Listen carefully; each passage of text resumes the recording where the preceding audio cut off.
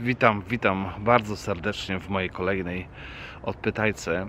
Trochę zmieniłem kolejność, mianowicie ja sobie kilka odpytajek nagrałem do przodu. Natomiast z racji tego, że mamy aurę, no właśnie, myślałem, że zastanę więcej śniegu. Jesteśmy w Parku Strzeleckim w Nowym Sączu. I myślałem, że faktycznie będzie więcej śniegu. Jest mgła, to też jest klimat, nie? Jest 8.30. Mam lekcję o 9, także spokojnie. O 10. No.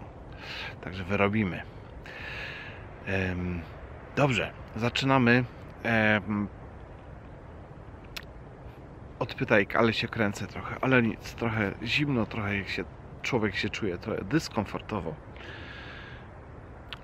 Zadanie na dzisiaj. Myślę, że zacznę z, trochę z czasownikami e, rekcyjnymi.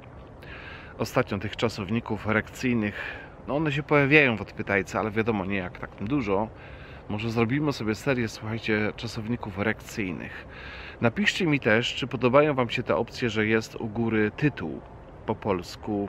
Tytuł vloga w sensie zdanie, które usłyszycie. Po polsku oczywiście, bo po niemiecku to nie miałoby żadnego sensu przecież. Gdybym Wam dawał odpowiedź w, w odpowiedzi w tytule, to byłoby w ogóle totalny bezsens. Dobra, zdanie na dzisiaj. Ja o tym jeszcze nie myślałem. Ja o tym jeszcze nie myślałem. Tak sobie myślę, że to może zabrzmieć po polsku też. Ja o tym. y, Nie myślałem jeszcze o tym. Nie myślałem jeszcze o tym. To też jest wersja tego samego zdania. Dobra. Wersja niemiecka.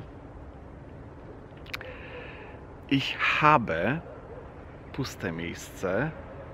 Noch nicht puste miejsce. I teraz tak. Wersja pierwsza. Ich habe darüber noch nicht gedacht. To jest pierwsza. Druga. Ich habe darüber noch nicht gedenkt. Trzecia. Ich habe daran noch nicht gedacht. I czwarta. Ich habe daran noch nicht gedenkt. Czyli ogólnie macie dwie wersje. Albo macie z przodu darüber albo daran, a czasownikowo macie albo gedacht, albo gedenkt.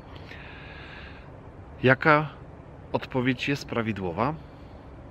Oczywiście ich habe daran noch nicht gedacht. Ich habe daran noch nicht gedacht.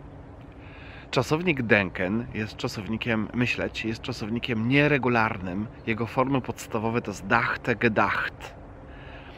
One są często mylone z czasownikiem denken, e, e, danken, dziękować. Pamiętajcie, ich danke, dziękuję, ich denke, myślę. Jedno słowo, nie? Jedna sylaba. Nie sylaba, samogłoska, przepraszam, ale to już jest dużo. I od, e, odpowiedź jest daran, ponieważ jest denken an. Myśleć o czymś jest denken an. Pamiętajcie, nie über. Tyle na dzisiaj. Zapraszam na kolejną odpytajkę. Trzymajcie się cieplutko, cześć.